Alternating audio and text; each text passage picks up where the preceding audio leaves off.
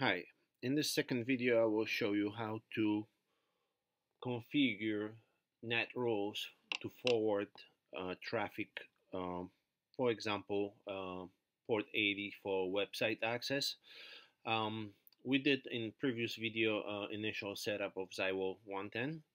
Uh, in this video we will learn how to um, do port forwarding. So we're gonna log into the server to this firewall so we're gonna log into this firewall.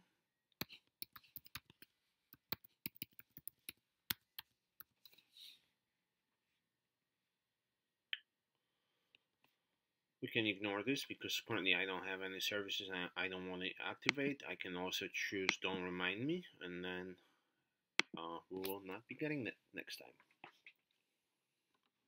Again, these services you can purchase and um, assign them to your account and they will automatically get synced with the firewall and they will show activated right here.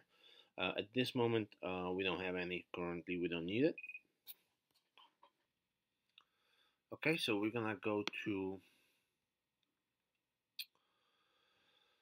configure. We're gonna look for the NAT rule.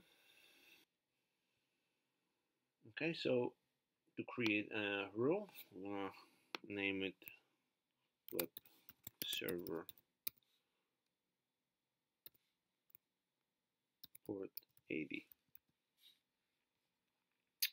incoming interface WAN? Uh, incoming source IP any. External IP we're gonna choose WAN interface uh, which is um, if you don't have that created you have to click create address then you're gonna change this to WAN IP you're gonna change this to interface. And then you have to make sure interface WAN one is selected um, that will create an object telling that WAN IP is the interface IP and the traffic comes through interface WAN one and that is incoming internet and we hit OK.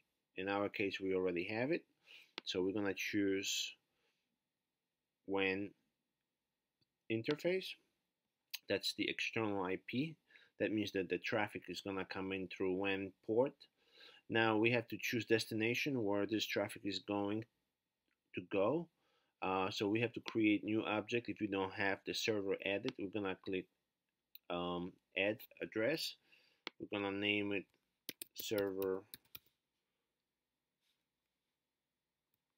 web port 80 and we're gonna type in the server address 192.168 in my case is 5.100 and we're gonna hit OK server web port 80 now we can come back to internal IP click web server 80 and port mapping type we can leave it any.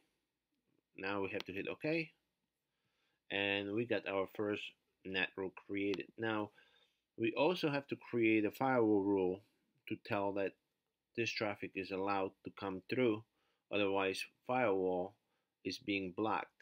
This is the routing rule and we're gonna have to go to the firewall rule which is um, located in security and policy. We're gonna click policy control over here we're gonna hit add. We're gonna call this port forwarding 80 you can create specific port or you can create groups. Um, if you have a web server with multiple different uh, ports then I highly recommend to create a group assign all the ports to the group and then choose a group instead of uh, choosing the specific port. Source any which is fine. Destination we have to choose our web server.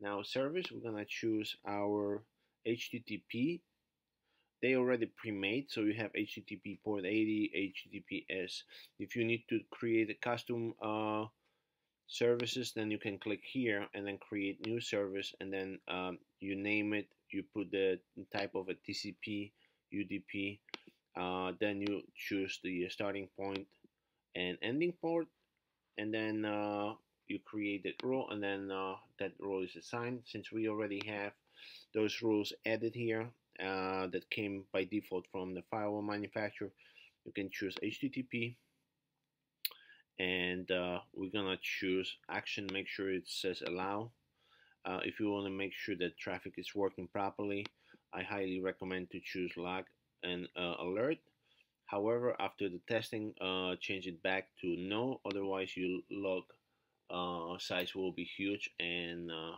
it will be hard to see what other issues the firewall has. Um, you can also apply the profiles for the services you have purchased. Uh, we don't have any, so we're not gonna be applying any of these.